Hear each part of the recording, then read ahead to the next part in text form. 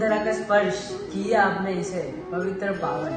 संयमित सेना के आगमन से बना दृश्य सदा मन भावन नवा पटोत्सव विशाखापट्टनम। आंध्र अचरज पाए, कृतज्ञ उतना करे अभिनंदन, वही पल पूर्ण सदा वही पल।